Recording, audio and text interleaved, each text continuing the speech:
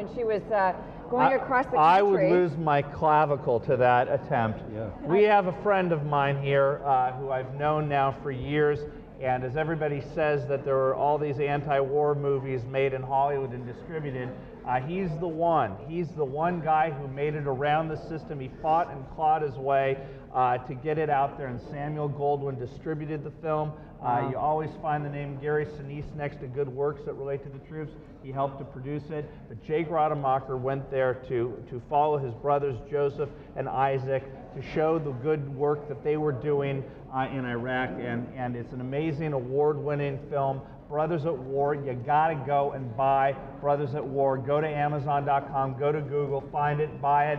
You won't regret it. Welcome, Jake, my good Yay, friend. thank you, Thank Jake. you. Well, glad to have you here. Glad Thanks for that. coming to the show today. We really appreciate it. You've, you've joined us last year. Were you there the year before? It's kind of, I may have been. I think. I think so. you, s- I think you've been with us all three years that so. we've had. I remember definitely last year I was there. I think I was there even before as well. Yeah, Troopathon has been uh, very grateful for your contribution. That movie that you made is amazing, and you, of all people, know how much care packages mean to our troops, but more importantly, the support and expression of admiration from those of us back home. Yeah, and I think right now is a great time to be showing them some support. Uh, you know, especially in Afghanistan right now, the troops are really in the middle of a very tough fight. Um, you know, I saw Restrepo recently, which, which did a good job of showing what they were up against in 2007.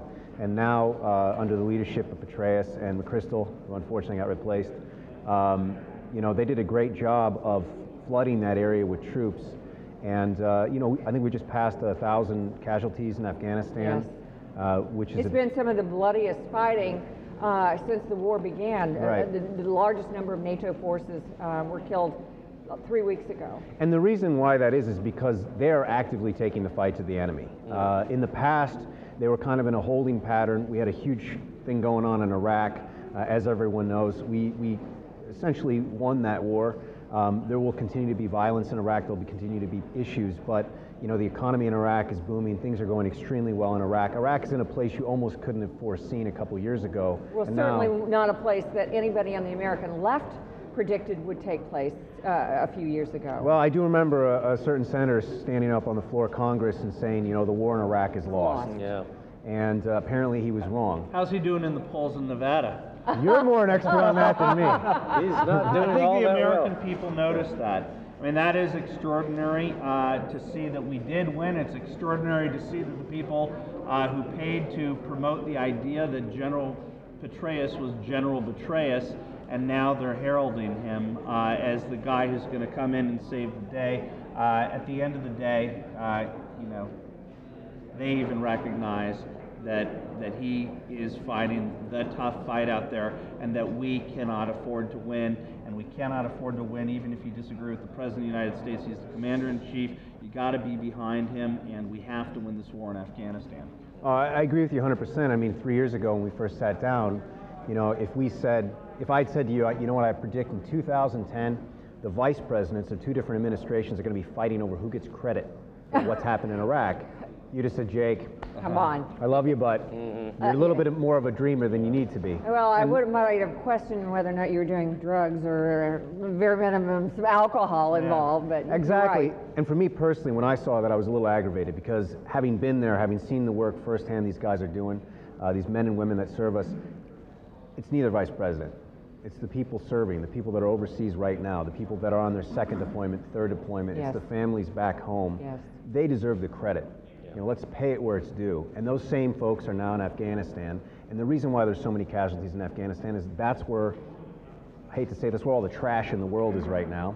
Yeah. If you want to get your jihad on, you're in Afghanistan, and uh, we are, uh, the, the entire NATO coalition forces is actively taking it to those people. And the way you mark victory is, you know, empowering the people. I, I came across a very interesting statistic the other day. Uh, we're doing a little thing for July 4th to help raise money for Gary Sinise's charity that gives school supplies to kids. And um, I'm sure a lot of the school supplies that are in these bags are going to end up in the hands of kids uh, overseas. The literacy rate in Afghanistan has gone from 10% at the beginning of the war to 28% now.